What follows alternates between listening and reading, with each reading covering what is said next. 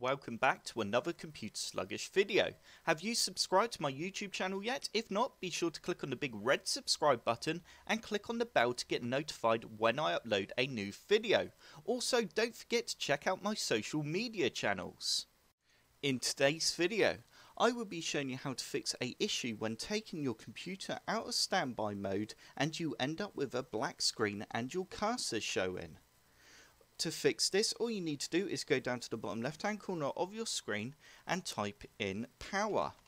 You now need to click on power and sleep settings and you now need to click on additional power settings and we now need to click on choose what the power button does.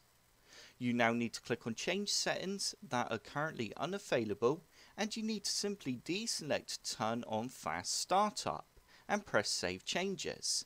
Now if you put your computer into sleep mode and then start it up again, you should no longer have this issue. But if you do still have this problem, then why not change the settings in power button does and turn on hibernate. Hibernate is still just as good as sleep.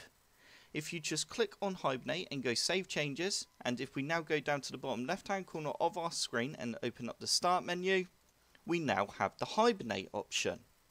Give Hibernate a try if you are still struggling with sleep. There is also still one more thing we can try with the sleep mode, and that is opening up Device Manager. Once you have Device Manager open, you now need to go to Display Adapters and right click on your display adapter and go Properties. And you now need to click on Driver and simply click on Update Driver and go Search automatically and this will basically search for the latest drivers for your graphics card and if it does find any it will then install but as you can see I don't have any newer drivers available at the moment. You can also check the manufacturer website for your graphics card. Updating the graphics card drivers should also hopefully fix the black screen issue as well.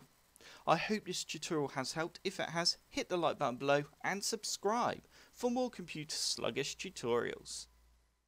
Don't forget to check out my social channels.